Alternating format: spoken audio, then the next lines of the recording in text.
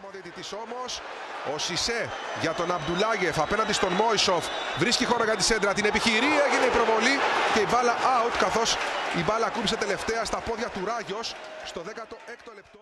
Αμπτουλάγεφ στην κεφαλιά πάσα για τον Γκάντσεφ. Λαρένα γυρίζει και κλέβει ο Ράγιος. Πάσα για τον Αμπτουλάγεφ. Το σούτ από απόσταση σε κόρνερ από τον Κολίνας στο 26ο λεπτό. Τη βλέπετε σε επανάληψη.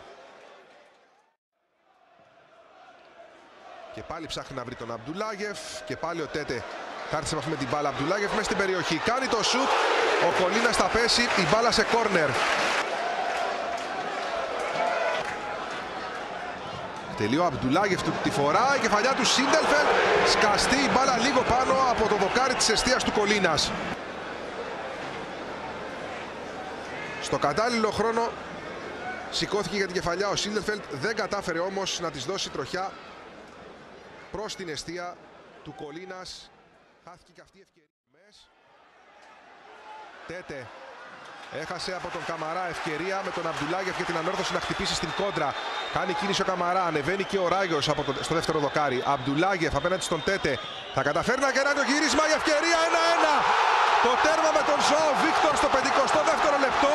Πανομοιότυπο με αυτό της ΣΑΕΚ. Ξανά η κίνηση του Αμπτουλάγεφ θα καταφέρει να περάσει την παλιά του. Δύο συμπαίκτες που δεν θα καταφέρνουν. Τρίτος έρχεται σε ρόλο τρέιλερ στο δεύτερο δοκάριο Ζωάο Βίκτορ να στείλει την μπάλα ανενόχλητος στα δίκτυα. Δημιουργός ο Άρας Αμπτουλάγεφ, εκτελεστής ο Ζωάο Βίκτορ 1-1. Ο Τέτε κλείστηκε ανάμεσα σε δύο, ο Χέφελ μαρκάρει τον Ντουγκλάου, το παιχνίδι παίρνει έναν πολύ άγριο ρυθμό. Παίχτες και των δύο ομάδων δεν διστάζουν να βάλουν τα πόδια στη φωτιά. Πάσα τώρα εδώ για τον Γκάντσε, περνάει τον Κολίνα, θα κάνει το πλασέ 2-1. Στο 74ο λεπτό η ανόρθωση φέρνει τα πάνω κάτω με σκόρερ τον Γκάντσεφ.